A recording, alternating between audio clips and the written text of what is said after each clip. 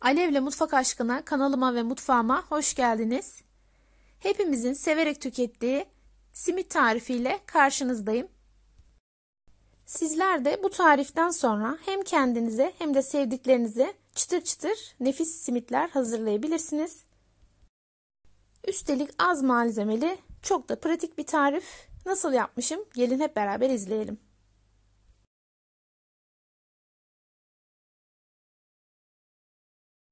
Tarifime ilk olarak hamurumu hazırlamakla başlıyorum. Yoğurma kabının içerisine yarım su bardağı sütü alıyorum. Kullanmış olduğum su bardağı ölçüsü 250 mililitre.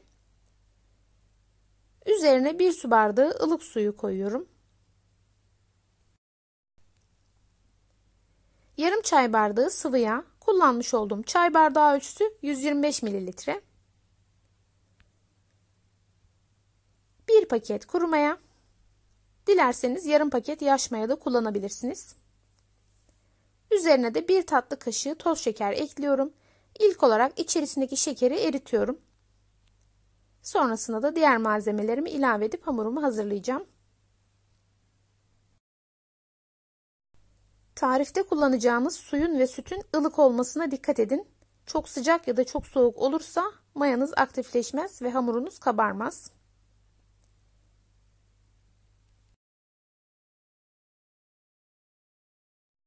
Spatula ile içerisindeki şekeri erittim. Şimdi yavaş yavaş unu ekliyorum. Bu tarifte toplamda 4,5 su bardağı un kullandım. Sizler de ununuzu eklerken yavaş yavaş eklemeyi ihmal etmeyin. Üzerine de bir tatlı kaşığı tuz ekliyorum. Bütün malzemeleri güzelce karıştırıyorum. Kullandığınız unun markası ve kalitesi farklılık göstereceği için daha az ya da daha fazla un kullanmanız gerekebilir. O yüzden kıvamını iyi ayarlayın. Orta sertlikte bir hamur hazırlayacağız. Şimdi spatulayı içerisinden çıkarıyorum ve elimle yoğurmaya başlıyorum. Yoğurma kabının kenarlarındaki hamurları da güzelce toparladıktan sonra hamurumu tezgaha alacağım ve tamamen özlü bir hamur olana kadar birkaç dakika boyunca yoğuracağım.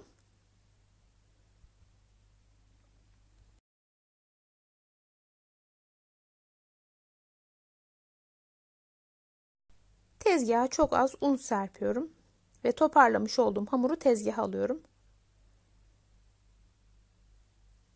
Hamurun kıvamını görüyorsunuz. Orta sertlikte bir hamur hazırladım. İstediğimiz kıvam tam da bu şekilde. Gördüğünüz gibi hamuru içerisine katlaya katlaya güzelce yoğuruyorum.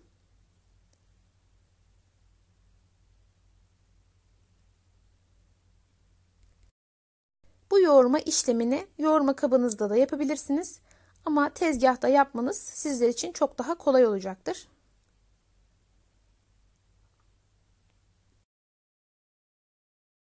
Yaklaşık 3-4 dakika boyunca hamuru tezgahta yoğurdum.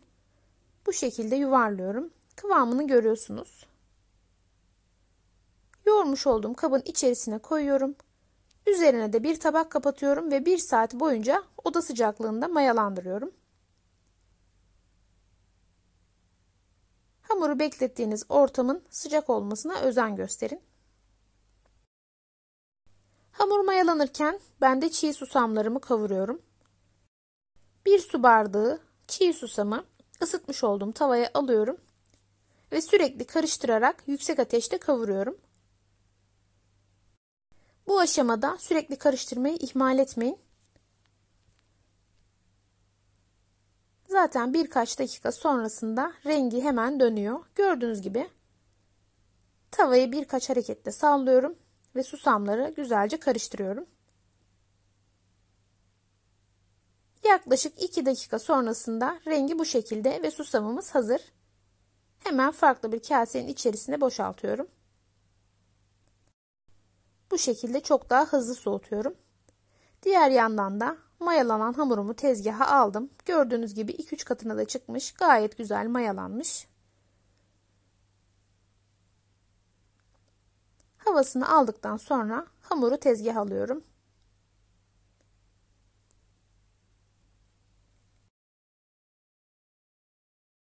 Hamuru ilk olarak 2 eşit bezeye ayırıyorum. Sonrasında da 20 eşit bezeye ayırıyorum. Bu tarifte toplamda 10 tane simit hazırlıyorum.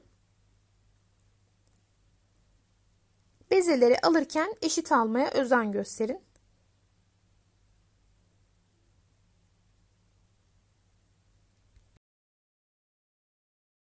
Çok az malzemeli olmasının yanı sıra çok da bereketli bir tarif. Toplamda 10 tane simit elde ediyoruz. Bezeleri bu şekilde hazırladım. Bütün hepsini eşitledim ve şimdi yuvarlıyorum.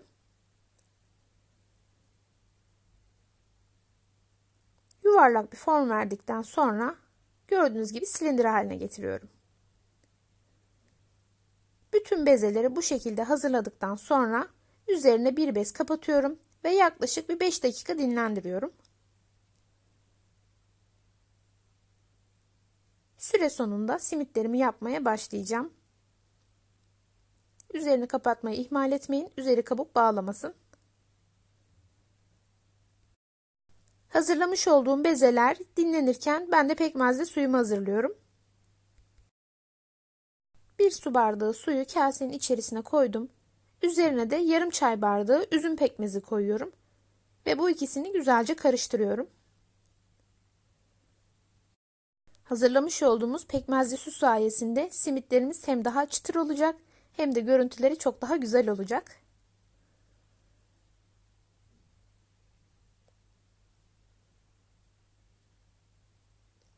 Güzelce karıştırıyorum ve artık şurubum da hazır. Simitlerimi yapmaya başlıyorum.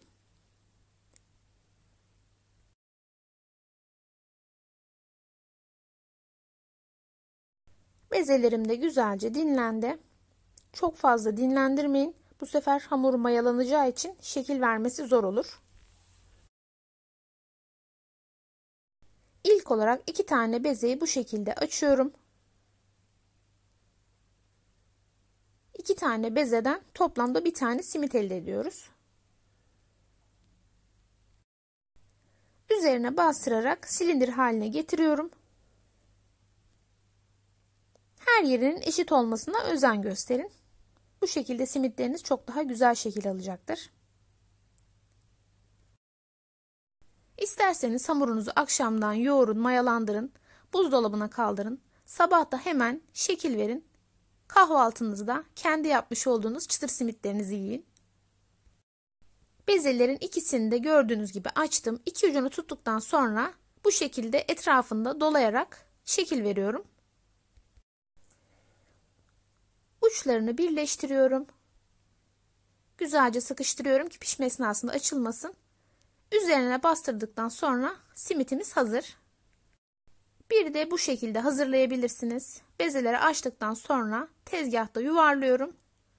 Uçlarını birleştiriyorum. Ve güzelce bastırıyorum. Dediğim gibi pişme esnasında açılmaması için. Hangisi kolayınıza geliyorsa simitlerinizi o şekilde hazırlayabilirsiniz. 5 tane simitimi böyle hazırladım. Şimdi hazırlamış olduğum şurubun içerisine batırıyorum. Sonrasında da kavurmuş olduğum susamlara batırıyorum.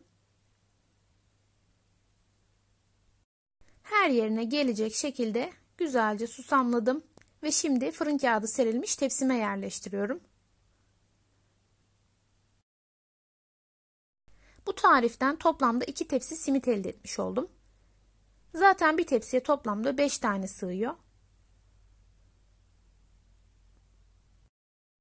5 tane simidi tepsiye yerleştirdim. Bu şekilde biraz simitleri genişletiyorum. Zaten pişme esnasında kabaracaklar. Fırında 180 dereceye ayarladım. Hazırlamış olduğum simitleri sıcak fırına koyacağım. Fırın yaklaşık 10-15 dakikada anca ısınacak. Fırın ısınana kadar da simitlerim tepsi mayasında güzelce kabaracaklar.